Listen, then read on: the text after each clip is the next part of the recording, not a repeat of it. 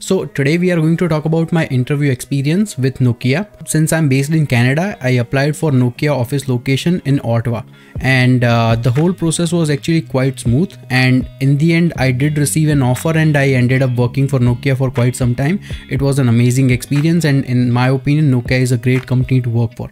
Like great work life balance, great technology, they are always bringing in new stuff and it's no longer just a phone company. I mean the phone division is long gone but it has a lot of products and and fun fact it's actually like 150 year old company so you can imagine that they have huge contacts and a lot of products lot, lot of interesting things that you can work with so let me first give you the background when I started applying. So at that time I was working for Royal Bank of Canada and uh, I had just found out that my wife was in the early stages of pregnancy. But right around that time, one of the recruiters reached out to me over LinkedIn regarding a position of software architect at Nokia. Now I have a very dear friend who had been working with Nokia for almost quite some time and uh, he had great things to say about that. So I was obviously inclined towards interviewing with them. We spoke back and forth with the recruiter and then we finally decided on a date. Now during the interview, uh, it was around like 45 to 45 minutes to one hour interview and surprisingly it was just one round of interview that was like basically going to make or break the decision uh, now, during the interview, I was speaking with the hiring manager and I was also speaking with one of the main architects from the team uh, who was leading all the initiatives.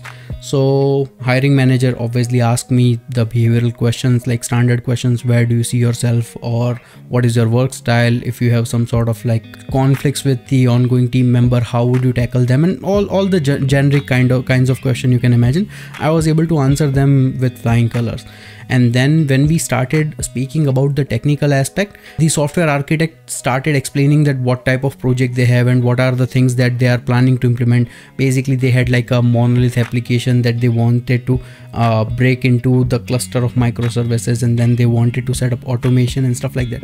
So rather than it being an interview of questions thrown back and forth like we started discussing that what are the things i have done and uh, what should be the cloud adoption journey how can they start planning things what i have done in my previous roles and it was mostly back and forth regarding that type of conversation. And uh, like fun fact we actually came to end and in last 5 minutes they asked me like some technical questions but i wouldn't say that that were too deep of a technical question.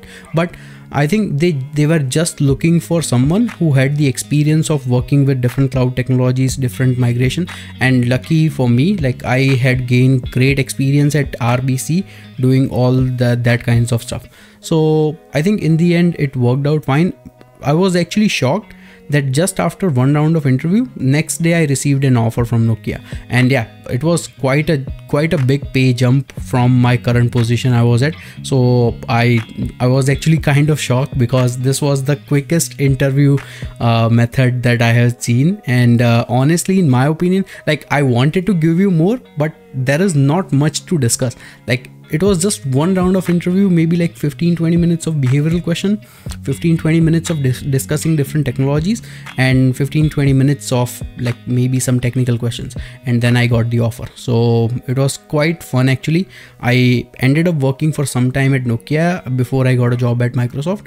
And uh, the team was really good. Like it had great work life balance great team good technology and uh, very good systems. Of course every company has their ups and downs and flaws uh, but need, needless to say my experience at nokia was wonderful.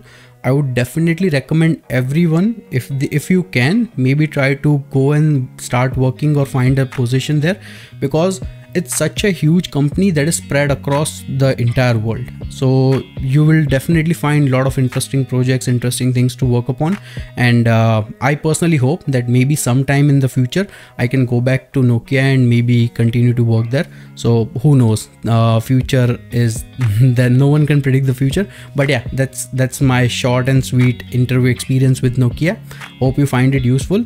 Um, let me know in the comments if you think I could have done something better. Anyways, take care. Bye.